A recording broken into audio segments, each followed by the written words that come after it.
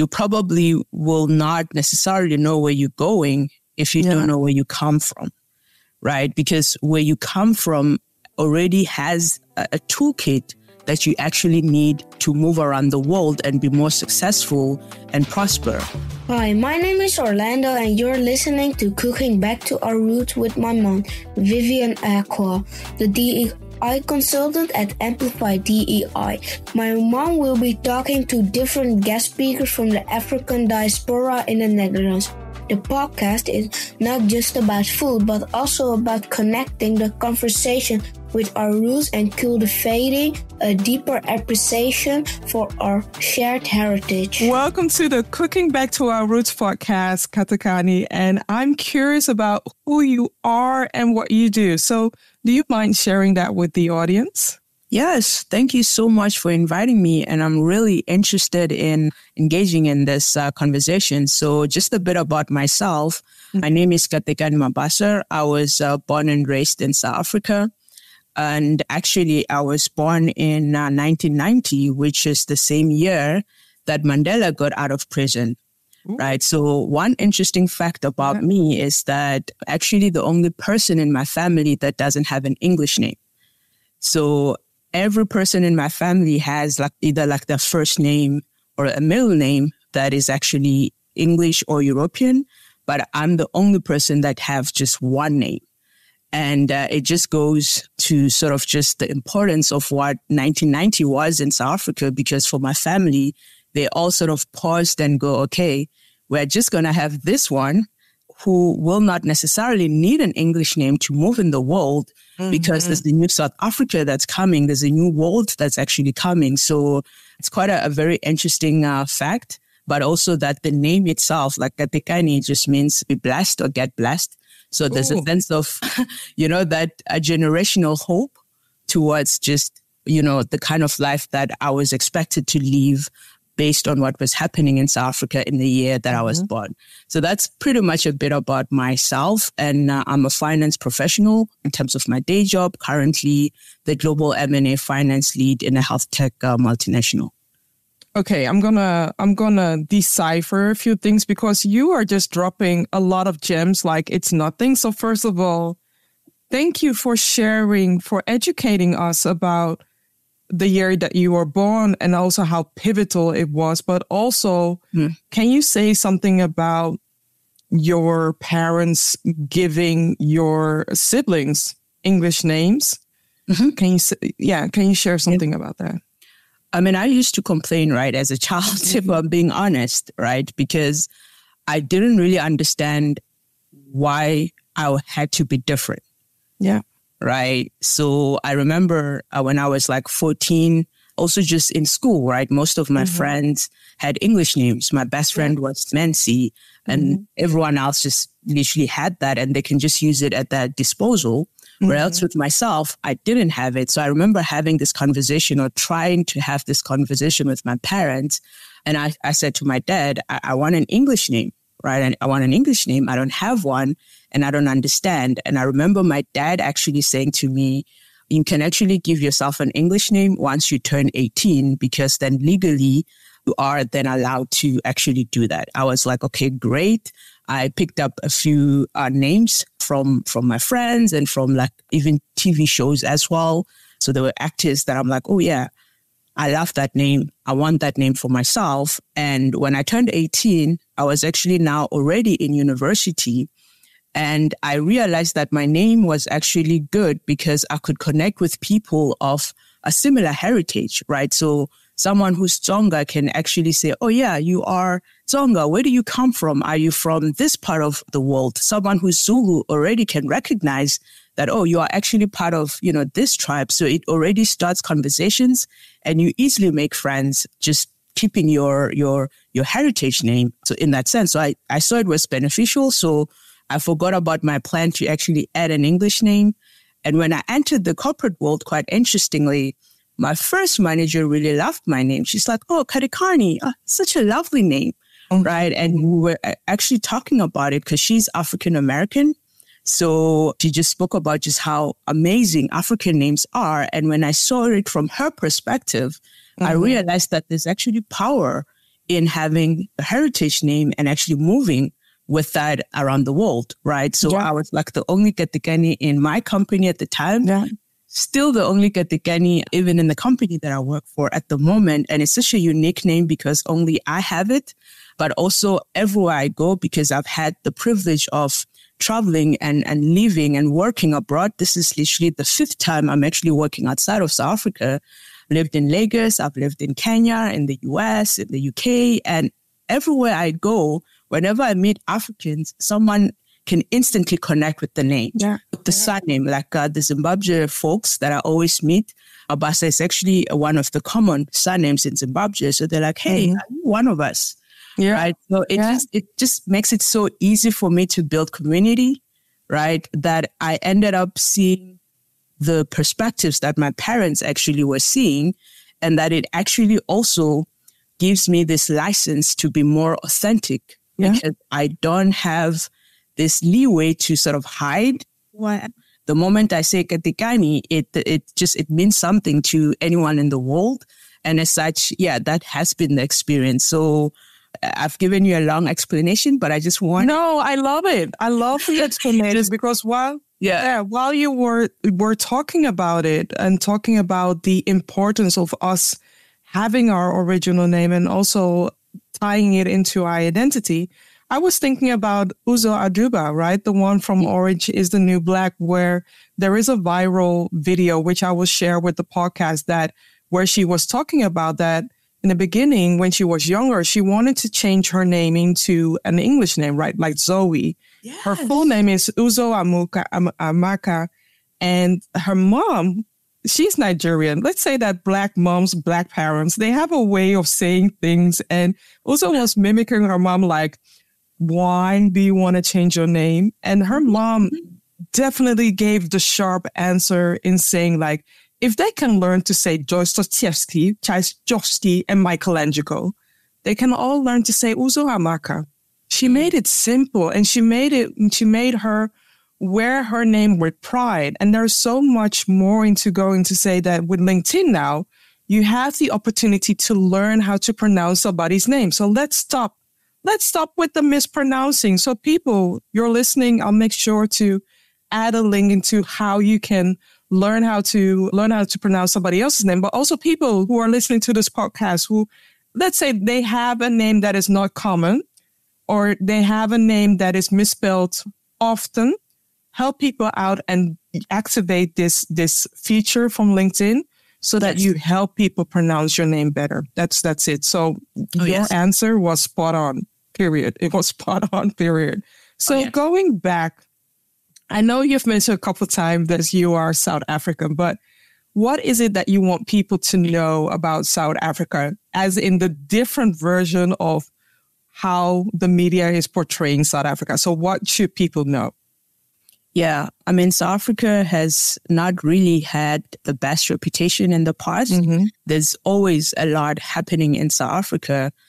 But the one thing I want people to know about South Africa is that all South Africans are actually fully committed to collaborating with other Africans and to actually be part of the transformation that needs to happen in Africa, right? We always see sort of South Africa as a center point around different, you know, struggles uh, with uh, our brothers and sisters from either Nigeria or Ghana or wherever. And that sort of perpet- it, it creates this picture that actually, you know, also Africans, like we have this, this, this, this thinking, right? That we don't like our brothers and sisters or we don't actually want to work with them.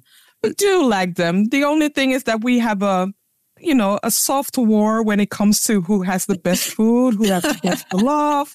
But from my perspective, though, there is a lot of love, much more love among African countries yes. than within Europe, European countries. Exactly, exactly, yeah. exactly. And most of us, like, we really strive to actually have that as the perception because every time I move around the world and I'm like, oh, I'm South African, the first thing another African in most times will talk about is the incidents that would have happened with either a cousin or a friend and and sort of like just creates that that narrative, right? So mm-hmm. yeah. we should be a lot more careful about just the propaganda and who actually benefits from it right? So mm-hmm. if we are all seeing all of that, who actually benefits from South Africa being portrayed as a country that doesn't really like other Africans, yeah. right? Because yeah. this actually defeats or it, it doesn't really help our efforts to actually work together and create this one Africa where we can all strive together and actually mm-hmm. enrich Africa. And because there's no way one country in Africa can do it on its own. If we look at sort of Europe, right? Europe has scale, right? Mm-hmm. China has scale. India mm-hmm. has scale. Yeah. Right. Africa on its own also needs to build that scale. But when we mm-hmm. still have these things that are happening, right, it just sort of now, you know, it takes us backwards in terms of just the development. So I think that's very, very important for, for people to and also another thing is just around how young South Africa's democracy is. And that, you know, South Africa is still working through quite a lot of things post apartheid to build its identity, to to build its its ability to to to have this rainbow nation that we always talk about yeah. more more effective, right? And yeah. that takes time because you know people can't necessarily expect a country that was hundreds of years to actually just overnight in 30 years, right? And that's how young our de- democracy is. It's actually 30 years, right? Yeah. To actually now get it right, we are still working through all of that. And, uh, and yeah, there's a lot of great progress that's being made.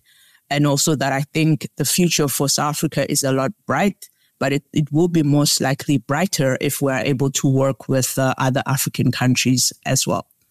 I love that. And why did you say yes to me interviewing you for the Cooking Back to Our Roots podcast? Because this is the first time that we are meeting. We are seeing each other. We have had some interactions via LinkedIn and via the WhatsApp, but yeah, what yeah. made you say yes? I think, you know, roots are so important, right? Mm-hmm. Like, because, you know, there's this saying that you probably will not necessarily know where you're going if you yeah. don't know where you come from, right? Because where you come from already has a, a toolkit that you actually need to move around the world and be more successful and prosper. And in most times, we are trying to shape our identities based on what we see in the Western world, yeah. right? And never really enough about the great strengths that actually comes from our roots and our mm-hmm. ancestry. Like yeah. uh, when I was actually sort of preparing to come to the show, when you mentioned the word roots, right, it got me intrigued to research about my roots, mm. right, more to say, okay, yeah.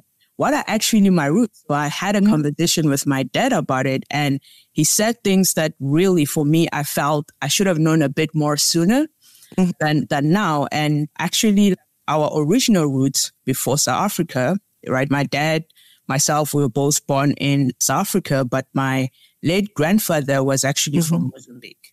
So mm. it actually goes back to Mozambique. So we actually come from one of the royal houses in Mozambique. Mm.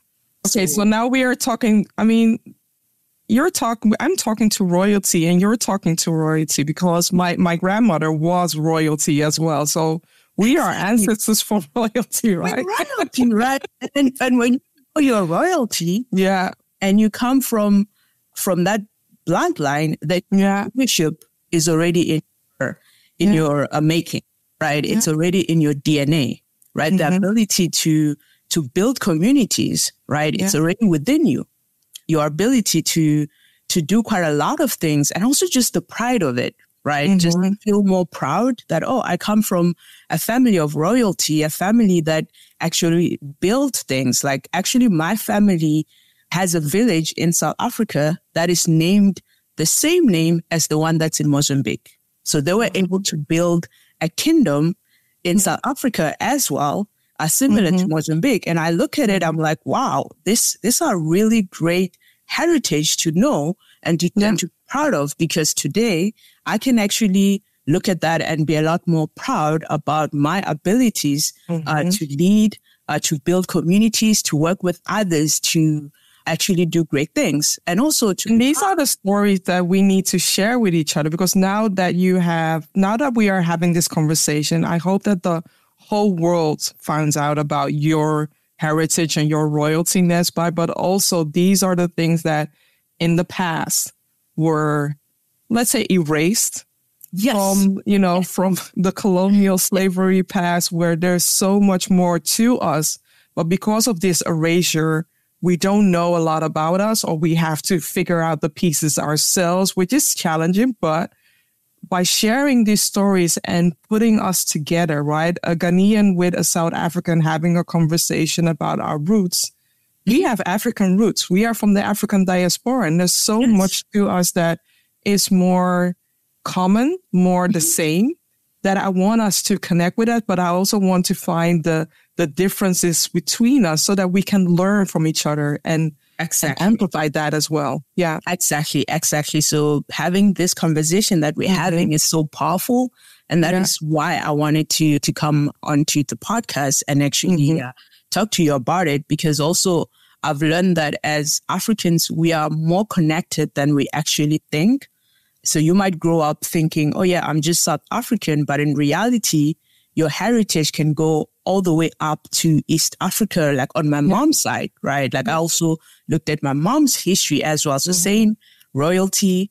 And then so sort of like coming from the likes of like your, your East Africa and people mm-hmm. typically said I look more East Africa, mm-hmm. East African than South African. And then now mm-hmm. the puzzle was like, oh yeah, it's probably. Now you understand it. Yeah. Now I understand it. And yeah. it's just, it just echoes what I was talking about in terms of the mm-hmm. need for Africans to come together because we are actually far more connected than we actually think. So where we are born is not the end state of our heritage. It could actually be sort of just like like uh, it's not the end state. Your your heritage might have started somewhere else in Africa, right? Mm-hmm. And just learning more about that actually gets you to connect more with other Africans yeah. uh, as well, and see the need for us to all come together, not just as people, but also as a continent. I love that. And what is the favorite meal that you want to share with the listeners? What's what what is the name of it and what are the ingredients or the main ingredients of that meal? Yeah, I mean, I love any meal that has a pap in it. Uh, so mm-hmm. for those that don't know don't know what pap is, it's a mm-hmm. maize Mm-hmm. Um, so like some pap with stew, either beef stew or chicken stew with some vegetables in it, uh, such as uh, like uh, spinach, mm-hmm. which is really uh, common in South Africa. Mm-hmm. So I mm-hmm. really like those kind of like meals. Uh, sometimes you mm-hmm. can also have pap with like mopane worms as well, uh, mm-hmm. which I really enjoy, fried, really like crispy. So yeah, those are like my favorites are African meals. it's very challenging for me to to just have this conversation, and in my mind, I'm seeing all these meals go through. Yeah, exactly. now I'm uh, getting hungry just thinking about this delicious uh, meals. yeah, awesome, awesome. And what did you learn from the sneak preview that you watched? Oh, that was a very powerful episode with mm-hmm. uh, Kobe and uh, Benedicta, there's like three things that I took out mm-hmm. uh, from that episode. The mm-hmm. first one is the relationship between Ghana and Suriname. Yeah. Right. And and I just love how the peanut soup actually connects it, right? Because you mentioned that the peanut soup that is prepared in Suriname is actually very similar to how your mother, your grandmother used to prepare it. And mm-hmm. that is so powerful because as much as we had the slave trade happen, it seems that all that heritage was what was actually preserved. And that's yeah. very powerful to actually learn mm-hmm. about just that history and just the ability to still sort of connect with people from African descent through our food. So that's yeah. really for me one of the first most important lessons I learned from that episode. And the second one is just the love of African parents when it comes to education. Yeah. Like, uh, like I think you all sort of like resonated with that. And I yeah. equally resonate with that as yeah. well. Like growing up, school was mm-hmm. not like an option.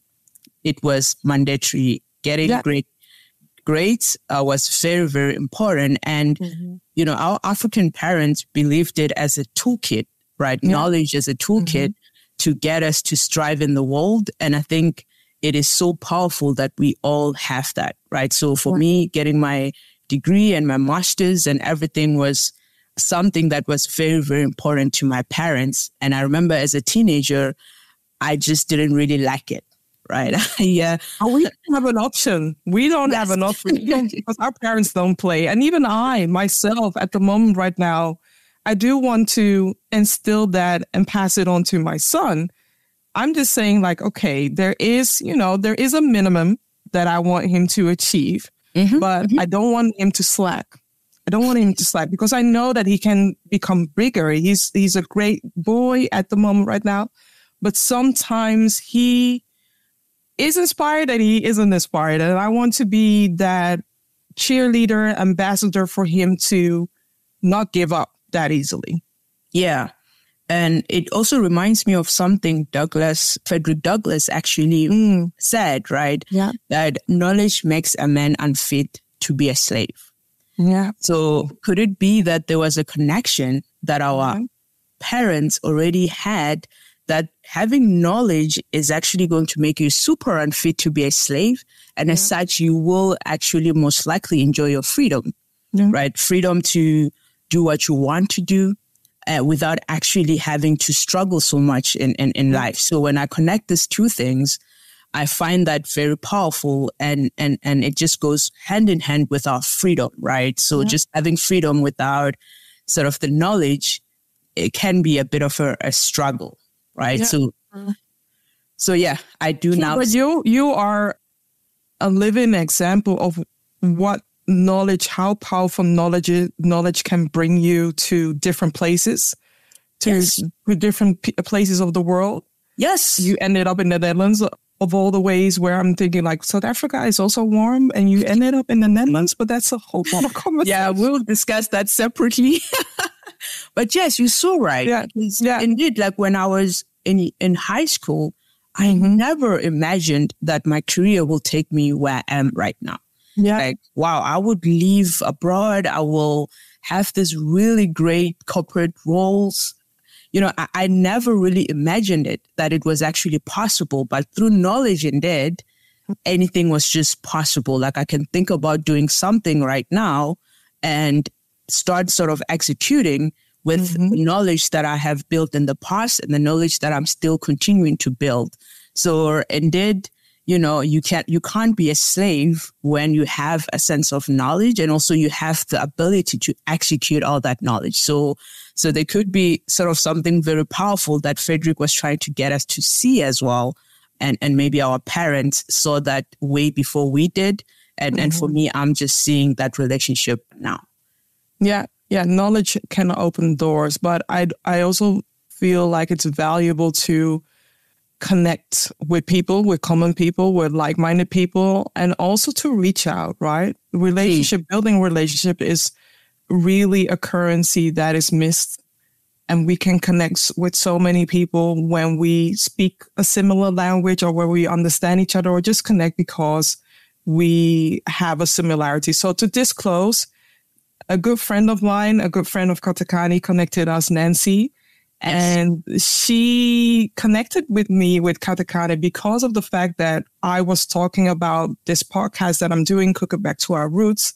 And then Nancy shared like, you really should talk to Katekani because South Africa is not being discussed. And I was confronted with my own blind spot within the whole Dutch slavery past apology done by the Dutch king, Willem Alexander. So Let's mm. dive into this topic because yeah. I want to connect it to your past. So let's dive into first your past. How was it for you growing up?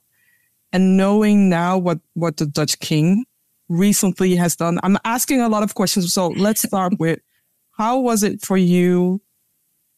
How do you look back to your past? Yeah.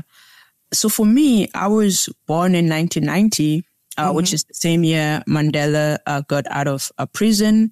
And two, three years after, uh, the ANC came into power. And as mm-hmm. such, the blacks were now ruling South Africa. And for me, I never really sort of had the experience of what apartheid was and what it looked like. I grew up mm-hmm. also in Limpopo, which is very sort of disconnected from sort of like your your Gauteng, which is like your where, where Soweto is, right? Where mm-hmm. the, the, the the the challenges were, uh, mm-hmm. and visibly so, uh, all mm-hmm. the different challenges that were in the country. So for me, my experience in terms of just the segregation didn't really kick in until corporate, right? Because also I went to University of Johannesburg and I picked mm-hmm. a Soweto campus, which was yeah. predominantly black, right? So yeah. we would have a few white people. And I remember reflecting with my friend about that. And he was like, well, the fact that they used to send a lot of black people to this particular campus could be that there was a sense of continuation around apartheid. Like, have mm-hmm. we ever looked at that? Right. And we had a very long conversation about that. But for us, because we didn't really have sort of like a very uh, close relationship with sort of the division, we, we just carried on with what we needed to do in university. And when I entered corporate, I began to see the dynamics play out, right? That mm-hmm actually, you know, black people are not necessarily represented in high power structures, right? In senior positions. And also there was the push around black employee employment empowerment a black economic em- empowerment.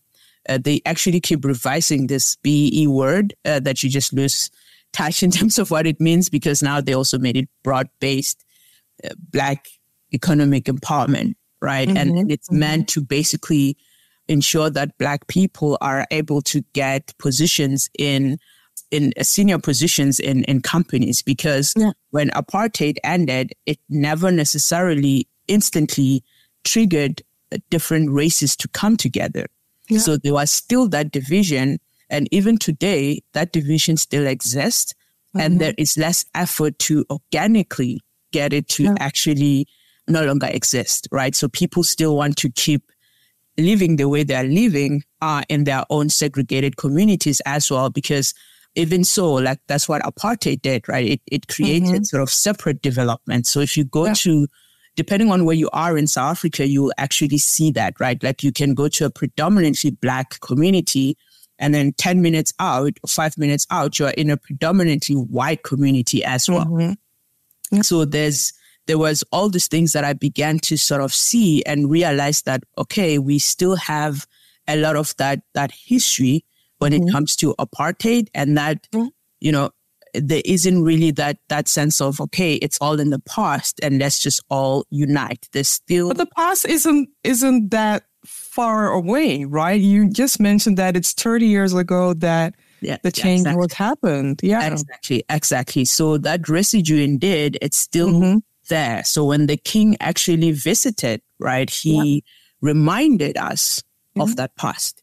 Yeah. He reminded us and and and as such, people were sort of like still, you know, angry about what what happened with their lands as well, being mm-hmm. forcefully removed from their lands and also that there hasn't been a lot of transformation to restructure the country in a way that mm-hmm. that equality is actually achieved. Yeah. So so what I saw with with with just how he was received, an apology is great. I think we we respect that a lot about him, mm-hmm. and we think you know it's it's the start of what needs to happen next because things yeah. are not going to organically happen. So how does mm-hmm. the Netherlands partner with South Africa to rebalance the inequalities? Because Africa is actually one of the most unequal countries in the world. Mm-hmm. Yeah.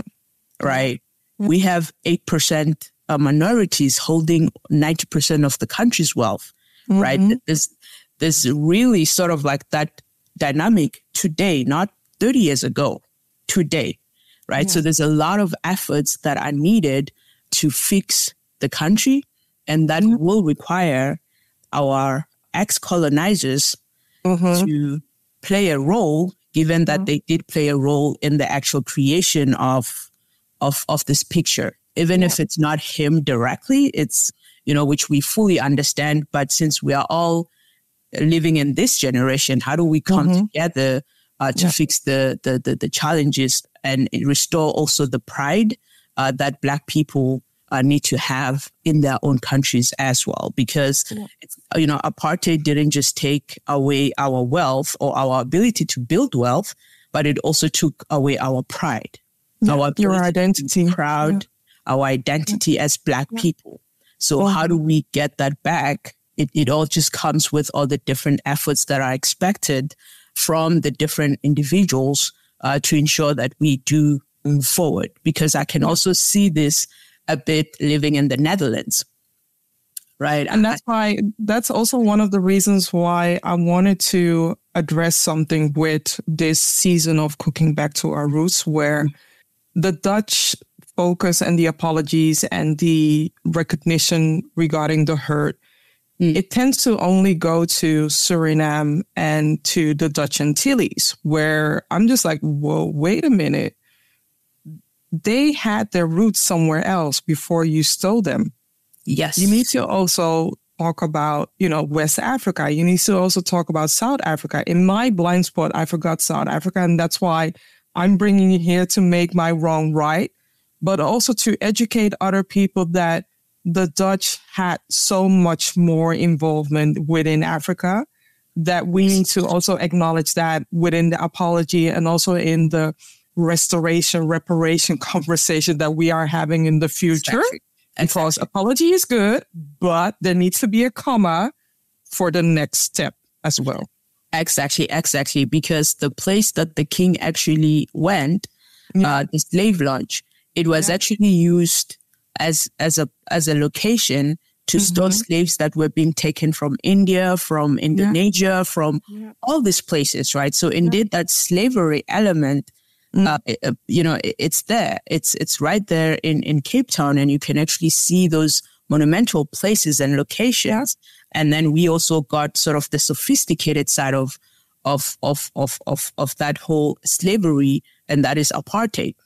Yeah. So and it's a very very sensitive topic and we understand that you know the amount of challenges that uh, mm-hmm. uh, occurred in South Africa and, and across Africa as well as a result mm-hmm. of what the, the Dutch did will mm-hmm. take years to restore. However, we are open to those conversations. We are open to the reparation process, right? Because indeed the reparations are not only going to your Surinamese and, and all the other known sort of direct places when it comes to slavery, but also the likes of South Africa, where they literally practice uh, apartheid with uh, as a joint force as well with uh, with the UK, right? So yes, it's it's something that indeed we have to talk about, and also just the impact on the people today around our mental health as well, mm-hmm. and how we actually uh, move and and operate in the world. Um, yeah. Because you know there are elements such as generational trauma that we never talk about. so yeah, I mean, we can talk about the effects of, of slavery and apartheid throughout, but I'm just demonstrating that it didn't it didn't just sort of, you know, affect our ability to build wealth, but it also affected our our trauma well-being, our yeah. well-being, right? And and also just our confidence and and and our history as well. So there's mm-hmm. so much that was taken from us, and we do need that acknowledged, but also that not just the king himself apologizing, but also how does he educate his community um, mm-hmm. around this in particular, and mm-hmm. also just how they should treat people of you know African descent in light of what has uh, transpired in the past. I do I do want to acknowledge that the Dutch king is the first of the royals that acknowledges, yes. which is making the Netherlands the first of making an effort. I'm saying making an effort. Yes. To first of all apologize. Second of all, they are doing research, which I'm I'm just like, okay, good that you're doing research, but we need something in place to prevent what has happened in the past to impact us further in a negative way. Mm-hmm. And the other thing that I want to address is that I do find it brave that the king is asking for forgiveness.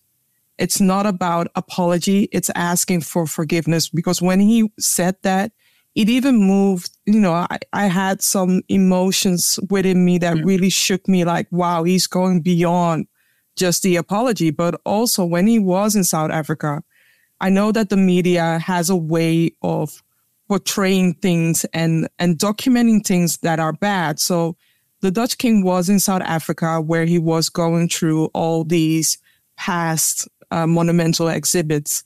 Mm. But the thing that was highlighted the most was the confrontation that the Dutch king and queen had when they were talking about the colonial legacy. And the other thing that I find brave is that he and his wife did pay attention and listen to those who were demonstrating at the time in South Africa. And they could have walked away and run away, but they chose to listen, actively listen and take away what they can do to do better. I don't know what the outcome is, but I do find it brave that this is a, a valuable lesson that they are activating, navigating tough and challenging conversations mm. for a productive outcome.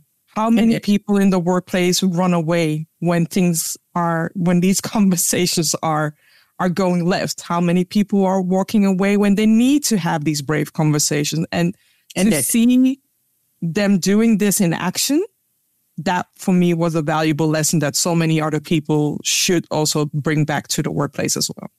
And it, I fully agree because him apologizing is so important and also asking for forgiveness. And it, yeah. it came from a very authentic place. That's also what I sort of perceived from mm-hmm. that apology. And the confrontation was really sort of ended a very small portion of his entire trip. Yep. There were events that he actually went to and had different conversations as well, meeting with also companies, which is also not necessary. But that wasn't that wasn't that wasn't registered in the media. Yeah, yeah. At least it was maybe registered in a minor way, which got the most attention was Yes. The backlash or the, the demonstration that they were ambushed into leaving a building. And I'm just like, wow, we need to be careful about the way we are reading things, but also we need to be careful about what whose side of the story is being shown. Yes, indeed, indeed. Because the conversations that he has had in South Africa and the different mm-hmm. visits, it demonstrates that indeed he went in to learn, to understand mm-hmm. the history, and to have critical conversations with people in South Africa on on just the, the whole experience and how mm-hmm. we work together. Because if he wasn't really willing to collaborate with yeah. South Africa uh, on this uh, legacy, then he wouldn't necessarily do the visit, right? And going to the slave lodge was a very clear indication that he does want to rebuild a different future. So I fully agree with you that, you know, what he did, I mean, some people died without actually ever apologizing. Mm-hmm, right. Mm-hmm, and every mm-hmm. time we think about them, I mean, Speak on it. we're not going to mention them, but every time we think about them, we yeah. just think about the past. Yeah. Right. And the brutality around that. And indeed, what the Netherlands is doing is very powerful and it should actually be a symbol, right, to every single person, even just, you know, every single country in the Europe. Right? Have the conversation around, yeah, yeah diversity, yeah. right? Have the conversation around, hey, you know, when we talk about mental health, how are we inclusive in the mental health space, mm-hmm. right? How are we ensuring that there is equity in everything, everything that we're doing? So if we're talking about career opportunities, how are we introducing equity? and not just say, well, we do have positions so everyone can simply apply and simply get promoted not when in reality, simple. it's, it's not, not, that easy, right? so yeah, no, not that indeed. simple. Fully agree. We could go, we can go on and on, but I, I do want to bring you back to the present. What would you like people to take with them into the present and why?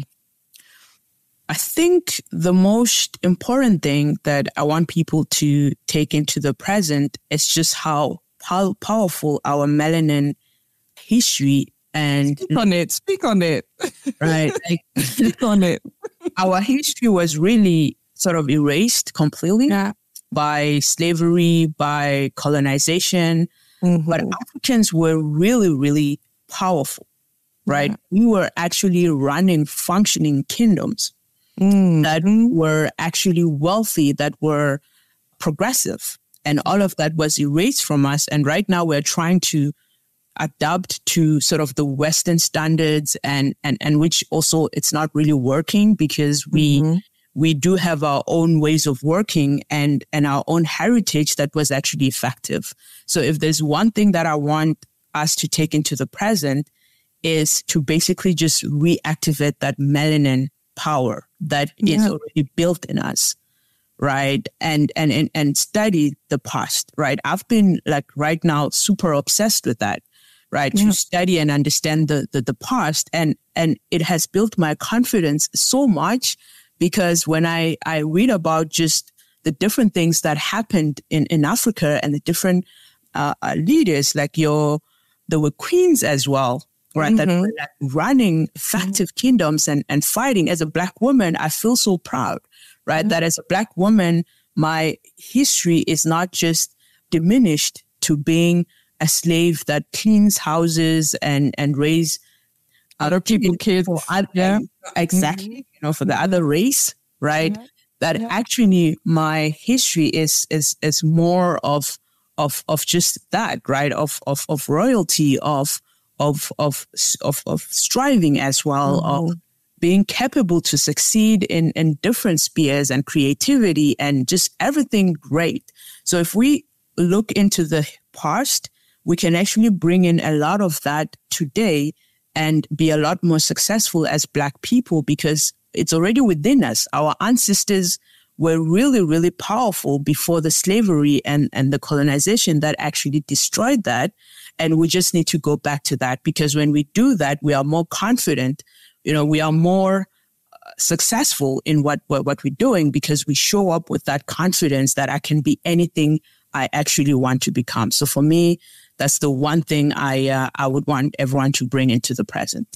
This conversation, you're making it you're making it challenging for me to host because what you are saying is just air candy. It's just empowerment. It's just while you were talking about your heritage, but also learning about your roots, there's one song that goes into that is playing in my mind, and that is Beyonce's song, My Power my mm. power, mm. my mm. power. And it's giving me goosebumps listening to you and whilst, you know, playing that song in my mind, like this is, this is like an anthem. This is what we need to do. And it, and it warms my heart to be having these conversations. So thank you. And also for the people that don't know Katekani yet, whilst you're listening, if there is a way for to include her as a speaker, you are already walking away with so much because I'm just like, oh, this woman, wow, I am, you're making it hard for me to host this show. So I guess it's a, it's a good thing, but I'm really yeah, definitely. about just being melanin, right? So yes. Yeah. yeah, love it, love it. What is the message that you want to share for the future for to empower others, but also to inspire others to mitigate the challenges that we are facing today? I think the message that I, I wanted to bring into the present sort of transcend into the future as well, mm-hmm, mm-hmm. right? Because when we know where we've been, when we know who we are, what we are capable of doing, Yes. Right. Then it's very easy for us to build on tomorrow. Right. So mm-hmm. as Africans, yeah. we build effective kingdoms. Shouldn't we do that in the future? Right. Shouldn't we build an Africa that is very prosperous, that anyone basically will wish to be African, will mm. wish to basically experience that. Right. And we can actually do that because we are all built within us that ability to actually strive for something like that and go for it. So what I would instill in terms of the message is just be proud of who you are mm-hmm. and collaborate with others that have the exact same interests that you have around Africa, around Black people, and just us basically are living a very uh, prosperous life because mm-hmm. the the slave is, is all in the past and we have all that knowledge that we need that right now makes it, makes it impossible for us to go back there as black people. So now moving forward is how do we build kingdoms and how do we build technologies? How do we build systems that can actually benefit us and our people as well yeah. as the world equally? Yeah. I had a joy, a pleasure of having this conversation with you and my mind is like going it's in the it's it's in it's in Disneyland right now. Like this woman is saying this and then this and then that and then this and for me it was a joy to learn more about your country but also a joy for you to instill so much power and empower this generation and the generation beyond. So thank you for for this conversation Thank you for having me. I really, really enjoyed having this conversation with you. And mm-hmm. I really admire what you're doing because you are literally creating a platform when, where we can all come together yeah. and inspire each other. So thank you so much for creating this platform. Thank you as well. Until next time. Until next time. Thanks for listening to this episode of Cooking Back to Our Roots. I hope you enjoyed my mom's conversation with the guest speakers. If you love what you heard today, don't forget to share this episode with your friends and family. Until next time, bye!